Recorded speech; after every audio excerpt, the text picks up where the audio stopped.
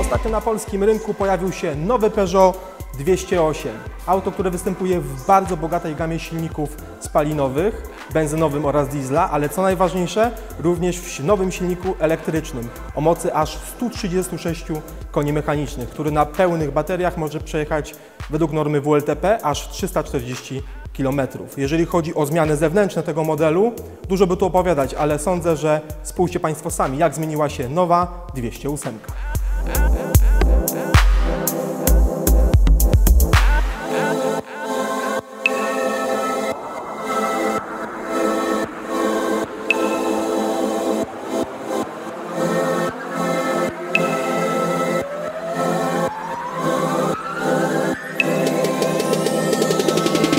Wewnątrz nowej 208 również ogromne zmiany. Zastosowanie nowego iCockpitu trzeciej generacji, małej kompaktowej kierownicy, a nad niej znajdują się multimedialne zegary, oczywiście w formie 3D, co jest ogromną nowością.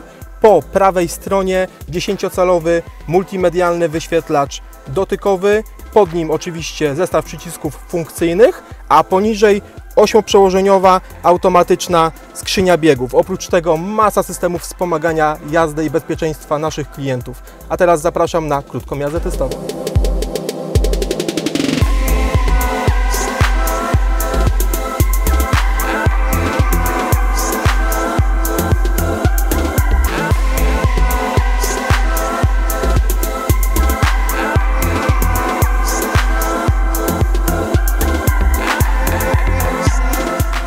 Zapraszam do salonu Peugeot, Kardom Konin, ulica Spółdzielców 5.